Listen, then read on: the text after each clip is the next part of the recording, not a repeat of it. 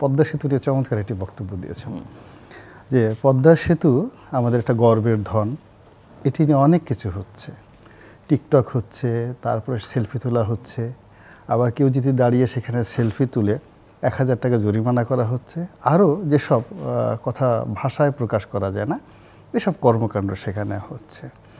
তো এই পদ্মা সেতু নিয়ে কেবল আমাদের এখানে নয় পাকিস্তান, ভারতের কিছু কিছু অঞ্চলেও কিন্তু বেশ উন্মাদনা হচ্ছে। এই ছবি ছবি দেখিয়ে তা সেখানে অনেক ভিডিও ঠিডিও হচ্ছে।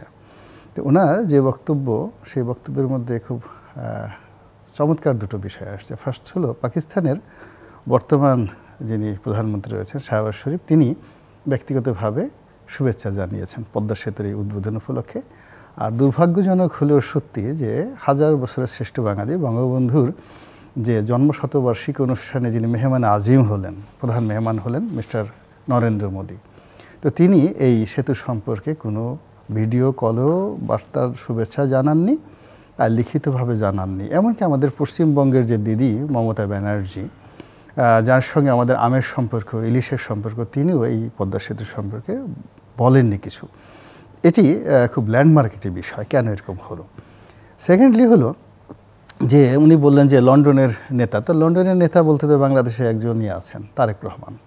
আর দ্বিতীয় লন্ডনের আরেক নেতা আছেন ব্রিটিশ প্রাইম মিনিস্টার। এর বাইরে তো লন্ডনের কোনো নেতা সম্পর্কে বাংলাদেশের লোকজনের তেমন কোনো আগ্রহ নেই। তো বরিস জনসনের সঙ্গে তো কোনো বাংলাদেশের হিন্দু সাংবাদিক দেখা করেন তো আমি ধরে নিচ্ছি যে তারেক রহমান সাহেবের সঙ্গে বাংলাদেশি বংশোদ্ভূত বেশ কয়েকজন সংসদ আছে বাট বাংলাদেশের আছেন বাট বাংলাদেশ Parliamentarian আছেন, তাদের ব্যাপারে মানুষের ওই জাতীয় রাজনীতিতে বাংলাদেশের যারা লোকজন আছে তারা আসলে বরিস জনসন এবং তারেক রহমান সাহেব এই দুজন কীভাবে এর বাইরে উপরে নিচে আর কোনো লোকজনকে ভাবে না।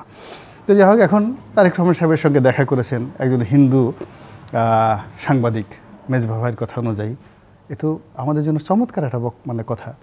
কারণ এই যে হিন্দু, বৌদ্ধ, খ্রিস্টান, তার সঙ্গে নরেন্দ্র মোদী, আমরা তো আসলে এই জিনিসটাই চাচ্ছিলাম যে এইরকম একটা সম্পর্ক আমাদের হোক এবং মেজবা ভাইদের মতো লোক বা সরকারের যারা কর্তা ব্যক্তি আছে, তারা গুতিয়ে গুতিয়ে আমাদেরকে ওই জায়গায় নিয়ে যাক।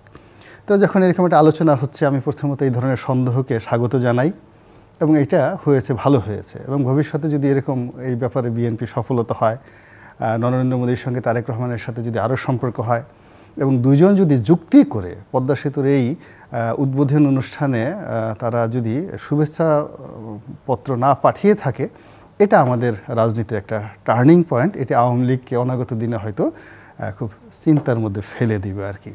তো যাই হোক, এই জন্য মেজবা ভাই তথ্যটা দিলেন, এই জন্য তাকে অন্তর অন্তঃস্থল থেকে ধন্যবাদ জানিয়েছে। আমি যদি নিজে বলতে যেতাম তাহলে আমাকে হয়তো অনেক কথা বলা হতো, যেহেতু তার মুখ দিয়ে বের হয়েছে এই জন্য তার মুখে ফুলচন্দন পড়ুক। দ্বিতীয় যে বিষয়টি রয়েছে, সেটি হলো ওনার একটা কথা আমার খুব ভালো লেগেছে। ভালো লেগেছে যে আসলে পৃথিবীতে ধর্মীয় মূল্যবোধ দিয়ে সবসময় শাসন কার্য যখন পরিচালিত হয়েছে, সারা দুনিয়া সেই প্রথম থেকে এ পর্যন্ত, এমনকি ফেরাউন জমানাতেও আমরা সারা দুনিয়াতে চমৎকার একটি শাসন ব্যবস্থা পেয়েছি। The greatest ruler all times তারা ধর্মীয় মূল্যবোধটাকে ব্যবহার করেছে, কিন্তু আচার আচরণে চালচলনে গণতন্ত্র, ন্যায় বিচার, সুশাসন তারা প্রতিষ্ঠা করেছে। আর যে রাষ্ট্র ধর্মকে হাতিয়ার হিসেবে ব্যবহার করার চেষ্টা করেছে, যে সম্রাট যে রাজা বাদশাহ, তারা যে ওসিলায় বা যে শুরুতেই থাকুক না কেন আলটিমেটলি তারা নিজেদের জন্য বিপদ এবং বিপত্তি ডেকে নিয়ে এসছে এবং ধর্মেরও বারোটা বাজিয়েছে। তো এখন আমাদের দেশের যে ধর্মভিত্তিক রাজনৈতিক দলগুলো রয়েছে বা যারা এই বিভিন্ন ধর্ম চর্চা করেন, তাদের একটা বড় দন্যতা হলো যে তারা ধর্ম বলতে কেবল নিজেদের ধর্ম বুঝেন। কিন্তু ধর্মের বাইরে অন্য ধর্মের প্রতিও যে তাদের সহানুভূতি দেখানোর দরকার রয়েছে, নিজেরা যে ধর্মটিকে পছন্দ করেন, অনুরূপভাবে অন্য ধর্মর যারা অনুসারী, তারাও যে তাদের ধর্মের ব্যাপারে অত্যন্ত সেন্সিটিভ এই বিষয়টি সংখ্যাগরিষ্ঠতার দ্বারা উদ্বুদ্ধ হয়ে আমাদের দেশের অনেক ধর্মীয় নেতা সেটা মনে করেন না। মনে না করার কারণে কি হচ্ছে, যারা সংখ্যালঘু রয়েছেন, তারা সামাজিকভাবে অনিরাপত্তাহীনতায় ভুগেন এবং রাষ্ট্রে সুশাসন, গণতন্ত্র না থাকার কারণে তারা আশ্রয়ের জন্য অসহায় বোধ করেন। যেমন ধরুন, ভারতে মুসলমানদের নির্যাতন হচ্ছে, ব্যাপকভাবে নির্যাতন হচ্ছে সেখানে। কিন্তু এখন পর্যন্ত কোনো ভারতীয় মুসলমান বাংলাদেশের নাগরিক হওয়ার জন্য বাংলাদেশ সীমান্ত পাড়ি দিয়ে আসেনি। আপনি গিয়ে দেখুন, কাশ্মীরে অনেক নির্যাতন হচ্ছে। কাশ্মীরের একটা মুসলমানকে আপনি অফার করেন যে তোমাকে বাংলাদেশের নাগরিকত্ব দেওয়া হবে, একজনকেও আপনি আনতে পারবেন না। আপনি বাংলাদেশের মন্ত্রী হন মিনিস্টার হন, বিরাট কিছু হন, কিন্তু ভারতের একজন সাধারণ মুসলিম পরিবার থেকে একটা সুন্দরী মেয়েকে যদি আপনি আপনার কন্যা, সন্তানের জন্য আনতে চান, আসবে না, তারা দেবে না। তো এর কারণটা হলো যে ওখানে নির্যাতন হচ্ছে জুলুম হচ্ছে, কিন্তু তারপরেও তারা গণতন্ত্রকে আফোর্ড করছে, ন্যায় বিচারকে আফোর্ড করছে, রাষ্ট্রীয় যে নিরাপত্তা, সেই নিরাপত্তাকে তারা আফোর্ড করছে। করার কারণে কি হচ্ছে? মানুষ ব্যক্তির দ্বারা ক্ষতিগ্রস্ত হচ্ছে, কিন্তু রাষ্ট্র, সমাজ দ্বারা তারা সহানুভূতির শিকার হচ্ছে। আজ নুপুর শর্মার কথাই ধরেন। নুপুর শর্মা যে কাণ্ড করেছে, সেই কাণ্ডে আমরা বাংলাদেশে উত্তেজনা দেখাচ্ছি, অনেক কথা বলছি, কিন্তু সমস্ত ভারতবর্ষ যেভাবে নূপুর শর্মার বিরুদ্ধে লেগেছে, এমনকি ভারতের যে সুপ্রিম কোর্ট, যে ভাষায় বিজেপির সমালোচনা করেছে, নূপুর শর্মার সমালোচনা করেছে, এটা নজিরবিহীন এবং এটাই কিন্তু একটা বৃহৎ গণতান্ত্রিক রাষ্ট্রের সফলতা। তো আমরা যদি আমাদের দেশে আইনের শাসন প্রতিষ্ঠা করতে পারতাম, গণতন্ত্র প্রতিষ্ঠা করতে পারতাম, তাহলে দেখা যেত যে আমাদের এই যে হিন্দু, বৌদ্ধ, খ্রিস্টান যে ঐক্য পরিষদ, তারা মন্ত্রীর বিরুদ্ধে যে কথাটা বলছে এই কথাটা বলতেন না। তবে এটা সত্য আমাদের দেশের যে সহমর্মিতা বা সামাজিক সংহতি, অর্থাৎ গ্রামগঞ্জে গিয়ে হিন্দু মুসলমানের মধ্যে সম্পর্ক, বৌদ্ধ খ্রিস্টানের মধ্যে সম্পর্ক, এটি ভালো আছে। এটি ভারতের চেয়ে ভালো আছে। কিন্তু সমস্যা হলো, যখন কোনো হিন্দু বা বৌদ্ধ বা খ্রিস্টান তিনি যদি নির্যাতিত হন, জুলুমের শিকার হন, তিনি যদি থানা পুলিশের কাছে যান দ্যাট ইজ এ প্রবলেম দ্বিতীয়ত, তিনি যদি কোনো প্রভাবশালী লোক, মন্ত্রী, এমপির দ্বারা ক্ষতিগ্রস্ত হন, এলাকার চেয়ারম্যান, মেম্বার দ্বারা ক্ষতিগ্রস্ত হন এলাকার মাস্তান দ্বারা ক্ষতিগ্রস্ত হন, তখন তিনি আশ্রয়হীন হয়ে পড়েন। এরপরে রাষ্ট্রের যে সকল ইনস্টিটিউশন রয়েছে, যেখানে গিয়ে তিনি আশ্রয় পাবেন, সেই জায়গাগুলো আমরা কিন্তু ধীরে ধীরে ধ্বংস করে ফেলার কারণেই কি হচ্ছে? ভারতের মতো একটি দেশ বলতে সুযোগ পাচ্ছে যে, এই দেশে বসবাসরত যারা সংখ্যা লঘু রয়েছেন হিন্দু তাদেরকে তারা নাগরিকত্ব দিবেন, এখান থেকে সসম্মানে নেবেন এবং এরই প্রেক্ষাপটে ওই দেশ থেকে বহু বহু বছর ধরে, শত বছর ধরে যারা বসবাস করছে আসামে, পশ্চিমবঙ্গে, তাদেরকে বাংলাদেশে পুষিন করার মতো হুমকি দিতে পারছেন। আমি মনে করি এই বিষয়গুলো নিয়ে সামাজিকভাবে আমাদের যারা লোকজন রয়েছেন, তাদেরকে কাজ করতে হবে এবং তারা যদি এই বিষয়টা কাজ না করে, জনসচেতনতা সৃষ্টি না করে এবং রাষ্ট্র যদি তার আপন মহিমায় এগিয়ে না আসে এখানে ফ্যাসিবাদ দিয়ে এগুলো দমন করা যাবে না।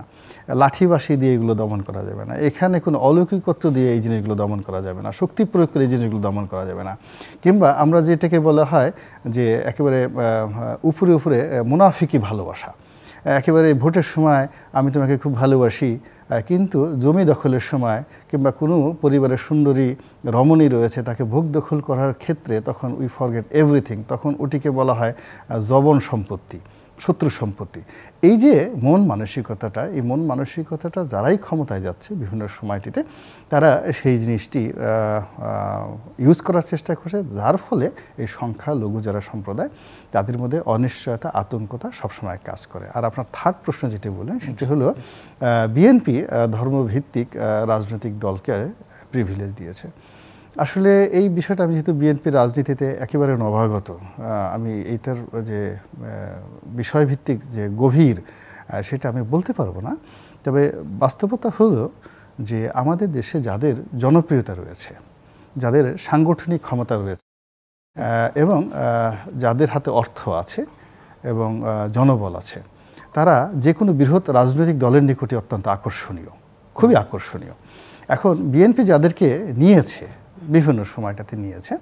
যদি আওয়ামী লীগের সুযোগ থাকতো আওয়ামী লীগ তাদেরকে নিত এবং অনাগত দিনেও নেবে। যে আমি এই জায়গায় আপনাকে থামিয়ে দিই এবং বাংলাদেশের ধর্মভিত্তিক রাজনৈতিক দলগুলোর কি অবস্থা বর্তমান সরকারের আমলে গত এক যুগ ধরে তারা কেমন আছে তাদের মধ্যকার বিভেদ এইসব বিষয় নিয়ে আপনার কাছে আমার প্রশ্ন থাকলে আমি পরে শুনব আপনার মতামত।